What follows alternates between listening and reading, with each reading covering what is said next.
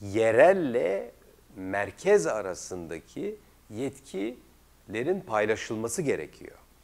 Yani Türkiye'deki sistem sadece bir yetki devri sistemidir.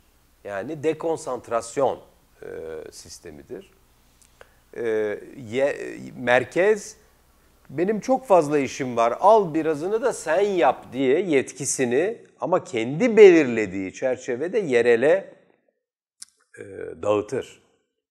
Türkiye'deki tek ademi merkeziyet biçimi budur ki bu da bir ademi merkeziyet değildir. Zira her şeyi son tahlilde merkez belirler. Tabii Avrupa'da ademi merkezi ülkelerde, ademi merkeziyetçilikle yönetilen ülkelerde verginin tümü merkeze gitmez. Verginin bir bölümü merkeze gider, bir bölümü de doğrudan doğruya yerelde toplanır. Ya da bütün toplanan vergi önce merkeze gider, ondan sonra daha önce birlikte karar ve ortaklaşa karar verilmiş paylar uyarınca e, yerele geri gönderilir.